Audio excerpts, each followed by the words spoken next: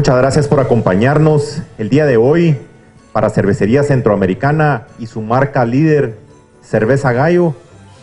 Es un gusto, ya por 34 años consecutivos, inaugurar las fiestas de fin de año y qué mejor que hacerlo con el Festival del Árbol Gallo. Este año la inauguración del Festival Árbol Gallo será el 16 de noviembre del 2019. Como saben, nosotros hacemos eh, inauguraciones simultáneas a lo largo del país en donde vamos a iluminar 33 árboles en toda la República.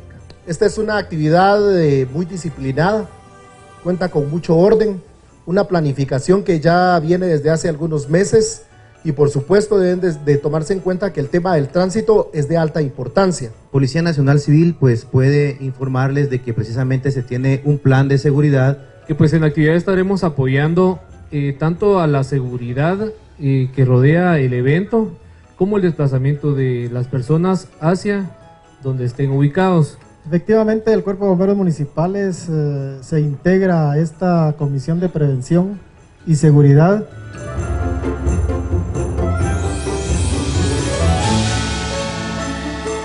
Este año tenemos eh, para las 7 de la noche, durante la inauguración, un mapping eh, que es una historia la cual será contada a través de imágenes que se podrán ver cómo cambian y cómo se dinamizan sobre el árbol gallo y sobre los edificios laterales del obelisco.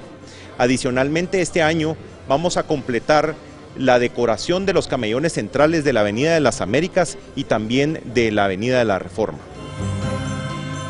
Desde ya invitamos a todos los guatemaltecos a que nos acompañen a cualquiera de las 33 plazas en donde colocamos un árbol gallo y por supuesto si nos quieren acompañar en el obelisco también están invitados para que nos acompañen. Las actividades empiezan a partir de las 4 de la tarde con actividades familiares en el camellón central de la Avenida de las Américas y luego se trasladan al, a la plaza central del obelisco en donde nuestro árbol insignia se encenderá acompañado de show musicales, show navideños preparados con mucho cariño para todos los guatemaltecos que nos puedan acompañar.